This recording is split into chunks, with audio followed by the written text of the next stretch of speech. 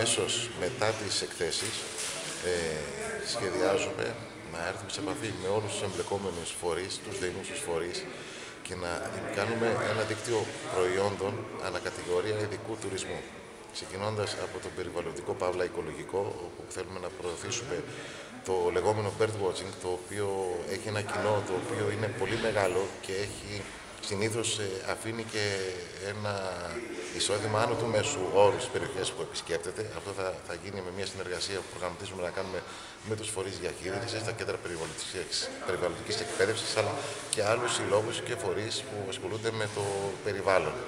Ε, αντίστοιχα, σκεφτόμαστε να προωθήσουμε τον ιστορικό παύλα στρατιωτικό τουρισμό με τα οχυρά μας. Να κάνουμε ένα δίκτυο των οχυρών, γιατί και εκεί έχει έναν ειδικό τουρισμό ε, υψηλού επίπεδου, ο οποίος παρακολουθεί και θέλει να δει τα ζωντανά αυτά μνημεία της σύγχρονης ιστορίας της Ευρώπης και της Ελλάδας για να ζήσει από κοντά τις μάχες και το, το, το περιβάλλον στο οποίο έγιναν ε, αυτά τα ιστορικά γεγονότα και πολλά άλλα. Αυτά όλα μετά τις 17 Νοεμβρίου θα ξεκινήσουν να υλοποιούνται και ελπίζουμε να έχουν ένα γρήγορο και άμεσο αποτέλεσμα. Πέραν τούτου, πολύ άμεσο και πολύ στοχευμένο είναι αυτό που ζητάει η Περιφέρεια, ο Περιφερειάρχης ο κ. Παυλίδης, τη χορήγηση της βίζας των 72 ωρών είναι, εφόσον αυτό υλοποιηθεί, είναι, που είναι κάτι που υλοποιείται στα νησιά του Αιγαίου, σε νησιά του Αιγαίου, θα δώσει άμεσα αποτελέσματα τουριστικής επισκεψιμότητας από την γειτονική χώρα μας, ε, την Τουρκία.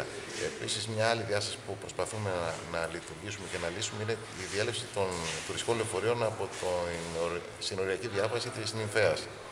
Ε, εφόσον το επιτύχουμε και αυτό, η, η έλευση Ρουμάνων, Τσέχων, Ουκρανών αργότερα και άλλων βορειοευρωπαίων ε, επισκεπτών μας θα αυξηθεί κατακόρυφα ε, και θα έχει πάρα πολύ καλά αποτελέσματα για τον τουρισμό της περιοχής.